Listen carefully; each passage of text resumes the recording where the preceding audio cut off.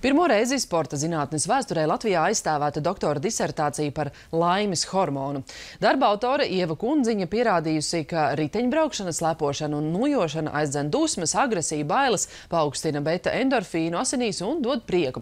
Pie tam pētījums veikts par cilvēkiem pusmūžā, kam mirstība no sirds un asinsvadu slimībām ir galvenais nāves cēlonis. Turpināja Kīnce. Ieva Kundziņa ir otra jaunākā doktora grāda ieguvēja Sporta pedagoģijas akadēmijas vēsturē, bet viņas pētījums ir pirmais pat divās jomās.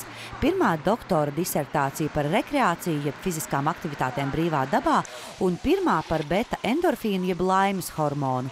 Ieva izdevies pierādīt, ka regulāras fiziskas aktivitātes paaugstina laimes hormonu līmeni. Tas pierādīts zinātniski ar asins analīzēm un īpašu datoru programmu, kas analizē sejā redzamās emocijas. Daļa pētījuma notika Madonas pusē. Tur slimnīca nāca pretī pētījuma mērķgrupai, ņemot asinis pirms un pēc fiziskās aktivitātes. Bet endorfīns tika mērīts trīs grupām - tiem, kas brauc ar riteni, kas nojo un kas slēpo ar distanču slēpēm. Mums sanāca tāds fakts, ka tie, kas brauc ar riteni, ir tomēr vispriecīgākie. Uh, nu, jā, un, uh, Pārsvarā visiem arī paaugstinājās uh, šis prieks, uh, pārsteigums, samazinājās negatīvās emocijas, dusma, dusmas, uh, riebums, bēdas. Ar smaidu šos rezultātus komentē darba vadītājs, akadēmijas zinātņu prorektors. Bet, ja nopietni, tad svarīgākais ir šos zinātniski pierādītos rezultātus tagad īstenot dzīvē.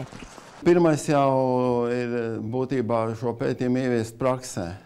Un, un strādāt ar cilvēkiem, strādāt ar auditorijām, izdot metodiskos materiālus, lai tas pilnībā tiktu, šī pieeja pilnībā tiktu realizēta sabiedrības veselības uzlabošanā un nostiprināšanā. Tas ir pirmais. Tāpat šis pētījums apliecina, ka kustības svaigā gaisā ir lieliska alternatīva citiem laimes hormonu ierosinātājiem, proti šokolādei, trekniem ēdieniem vai alkoholam. Noteikti ir jākustās. Ja? Nu, protams, ka citreiz gribās čipšus, jo arī īstenībā uh, ir cilvēki, kas, nu, tāds interesants fakts par endorfīniem, kad arī uh, trekns, ļoti salds uzturs arī ceļ augšā endorfīnu līmeni. Tāpēc citi ir cilvēki, kas pierod pie neveselīgām uzkodām un pēc tam jūtas laimīgi apmierināti. Ievas promocijas darbs gūs atzinību arī konferencēs ārvalstīs, kur viņa dalījusies ar gūtajiem rezultātiem un atnesis jau pirmos apbalvojumus. Jaunā doktorante pati saka, ka bez sporta dzīvi iedomāties nespēja. Ieva ir certificēta fizioterapeite un ikdienā vada nodarbības savā sporta klubā.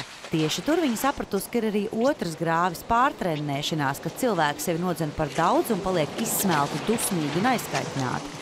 Pagaidām gan daudzus ziemas sporta mīļotājus kaitina tas, ka nav kārtīgas sniega segas, taču sinoptiķi ir slēpotāju pusē un sola, ka nākamnedēļ ziema atgriezīsies. Āja Kīnca, Kristops Dombrovskis, Dainis Lācis, Latvijas televīzija.